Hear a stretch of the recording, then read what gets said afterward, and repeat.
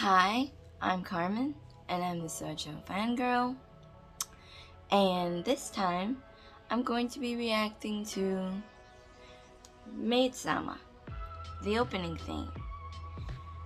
And recently, I checked my stats on YouTube, and most of the people who are watching my videos aren't subscribed.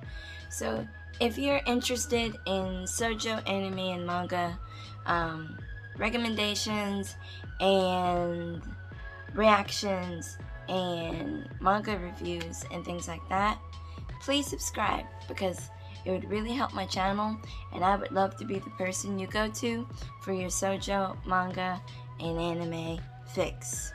So, without further ado, we're gonna get started right now. So this is Maid Sama. So I'm I've actually started watching the first two episodes, but I'll do like first impressions video later on those. But I'm very excited about this one too because again I love Shoujo, so. So we have Misuki, um, Misaki, and then we have Tamuki, and there were the two leads, the male and the female leads. I so far really like her character. I like the different like facets of her character.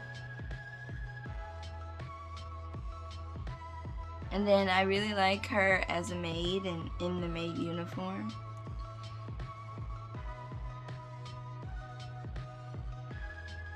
And then we see the other maids and then more Misaki. Do we see her at school? Do we see her at work? Do we see more Tamuki?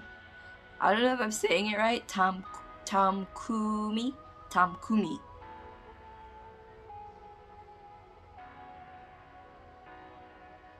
But the her uniform at school and her uniform at work really um, showcased the two facets of her personality um, in the show that we're gonna watch later because I'm to start um, reacting to it.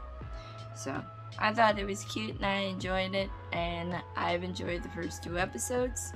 Again, I'm going to be doing a first impressions video on the two episodes that I've watched. So look forward to that and you know ring that bell and subscribe so you don't miss any other videos. Have a great day! As always, I love you all. Have a blessed day and be blessed in Jesus' name. See you in the next video.